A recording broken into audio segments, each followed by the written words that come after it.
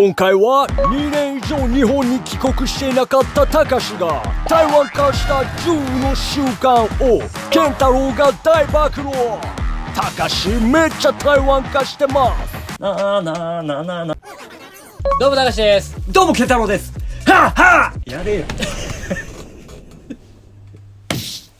はいよトラックだよやれよ。暴力反対やれよ。じゃあもう一回しとく？いや、もう一回やろう。気を取り直してどうも、たかしです。どうも、健太郎ですはあやれよ。やらねえと思ったらマジでやらねえじゃん。やれよ。はあはあは最近帰ってきてからですね、まあ、ケンタロウにちょいちょい突っ込まれるんですよ。お前なんかちょっと変わったなと言われるんですよ。言ってない言ってない。そういう体で来いよ今日のテーマの、いけないだろテーマに入れないだろお前。そういう体じゃない。素人だこれ。お前も素人これ来んのこれ映ってない。多分。多分切れてるか。ら。ということで2年ぶりに台湾から帰国したたかしと共に生活をする中で健太郎が感じたたかしの台湾化した10の習慣を今日は健太郎から発表してもらいましょう。どんな変化があるのでしょう。メンバーシップを開設しました。よいしょメンバーシップはですね特別動画やライブ配信さらにはですね限定イベントなんかも開催していますので皆さんぜひ登録よろしくお願いします。して一つ目言語でございます。まあ、イントネーションとか。例えば？例えば、何々知ってるか？あれ、完全にあの、中国語のイントネーション。え？日本そうなの？日本語だと、お前、知ってるか？あ下がるのか。確かに。あ知ってるか。お前、知ってるか？って言ってるか知ってるか あ水だおまーのイントネーションで知ってるかを言ってんだまあのイントネーションで知ってるあ中国語のイントネーションで言ってんだ疑問形がもう。ああーあそうなんだそう。あとは、間を埋める、えっ、と、とか、そう。あれ、なーって言ってる。だから、多分。えーっとの時にえっと、なあって言ってなあ、そう、なあ、なあはない。日本はなあだ。なあ、なあ、なあ、なあ、なあくらいしかない。なあ、なあ、なあ、なあ、なあ、なあ、なあ、なあ。中国語でえなあっってあ、ます中国語はなあなんだ。えーっとっていう時になあって言って考えますああ、ああ、なるほどね。それそれ。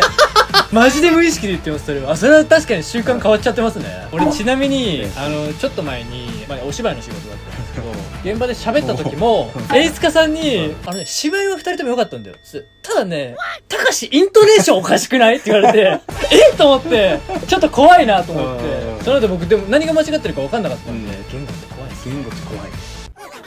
二つ目。はい歩くの遅え。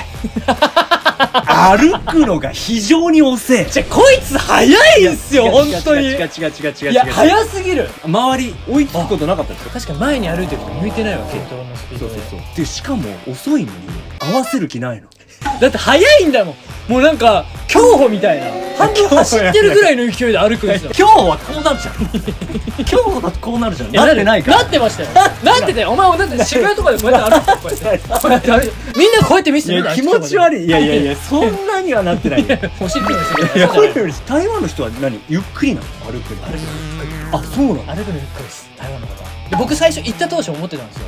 歩くのゆっくりだなってあ、なるほどねそ。うで多分それが俺も染みついちゃったんだと思う でも合わせてくんないのね。なんか合わせる気なかったじゃん。えじゃあ本当に速いんすもん いやいやいやだって本当に目の前でこうやってお尻プルプルしてるそれはして、こうやってしてるよ。お前してねえよ。俺の前でお尻プルプルしていやいや速い歩くない気持ち悪いだろ。えだから気持ち悪かったんだって振ってないから。普通の、普通に歩いてる。歩く関係で言うと、はいあとね、距離距離も、昔はさ、駅から15分とか全然歩いてたのよ。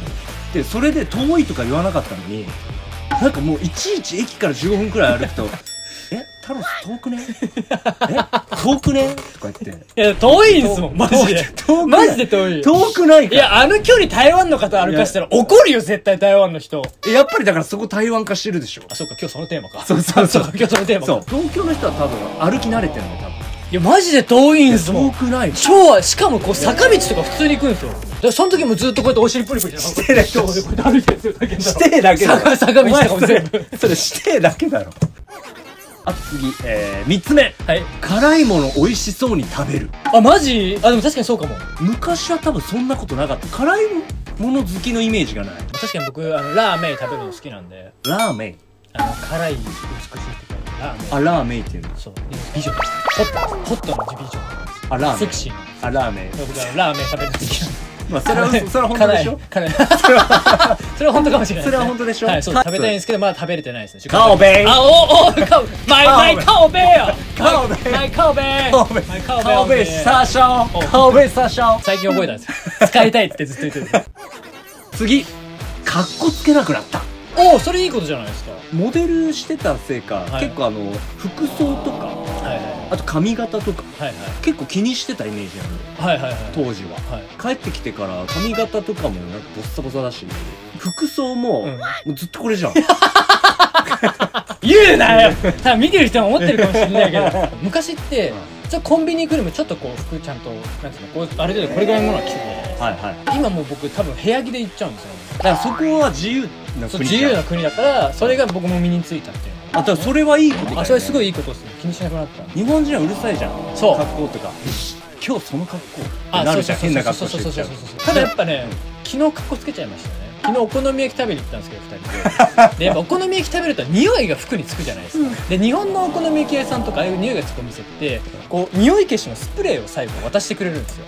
でもちょっと俺はその時にいや俺はそんな匂いとか気にし気にしねえ男だから別にみたいな感じでどうですかって言われた時にい。ねいありがとうございます。よくわかんない格好つけたよそれは。いやでね。そうそれでね、うん。ちょっと家帰ったらこう、うん。えめっちゃ臭くないですめかっちゃ臭かった。めっちゃ臭い。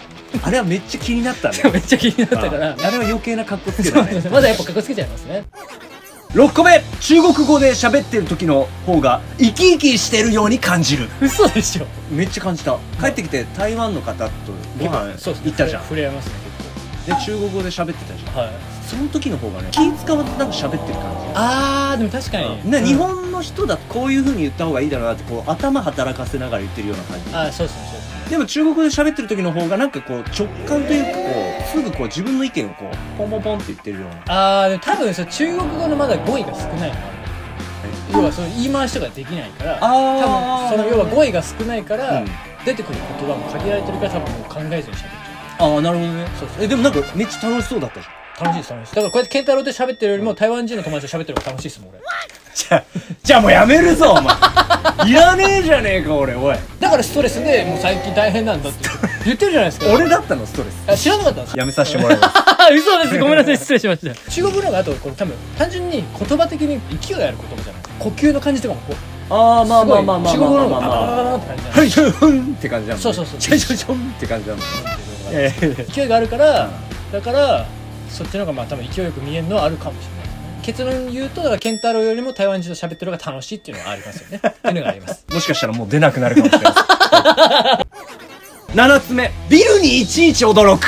多分要は30何階とか40階とかあるような建物が並んでるんですよ東京って。あそうそうそうそうそう。台湾やっぱそれがないんうんうんうん。空が開けてるそうそうそうそうそうないから高し帰ってきて高くね？あれはちょっな、いっすね。な、うん、だから圧迫感ある。あやっぱ感あります、うん。圧迫感ありますいい悪いじゃないか。まあそうですね。いい悪いじゃない。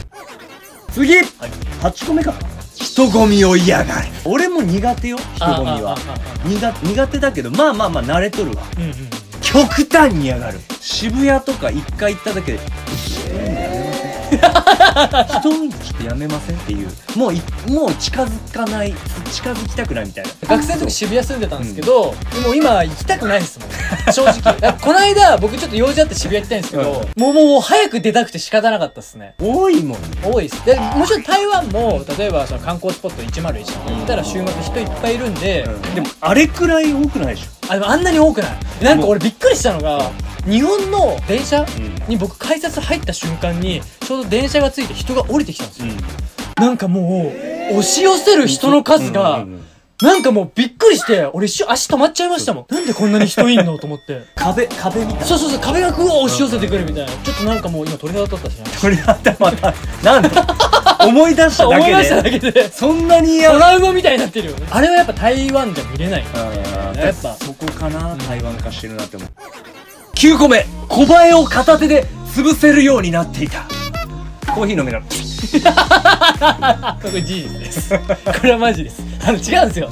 これあのうち台湾の家、うん。めっちゃ蚊が出るんですよ。あ金めっちゃ出んの、一晩に5匹とか殺すんですよ。ねで最初は俺あのなんかこうラケットみたいなこうやってやるやつあーなんですけど。ビリビリのね。そうそう。あれを持ってなかったんで、はい。俺最初買いに行くのめんどくさい手でこうやってやってたんですよしたらそれで技術が身についてかか今片手で殺せるんですよこうやって。でそれをこの間健太郎んち来た時に小林がいてやってしまったっていうね。誰が小林おるやん 小林で出るみたいに言うんじゃね昨日寝てたら昨日も飛んでたからビーンって。顔が健太郎みたいな小林がうーんってうーんって本当にね今日今日こうやってこうやってコンサージョン買ってねこうやって飛んでるんですよだから買ってこうやって叩いちゃうこうやって叩かなきゃいけないんですよまっすぐこうやっていくと要は上からこうやってグッていけるんですよで飛んでる時にここここの ここの手で上からグッと押さえるんですよ。何のレクチャーや何のレクチャーやねん。えいいじゃん。だってコーヒーとか飲んでてこうやってできないじゃないですか。一回怒られてまあまあその置く瞬間に逃げられるから。そしてこうやって飲みながら やってたやって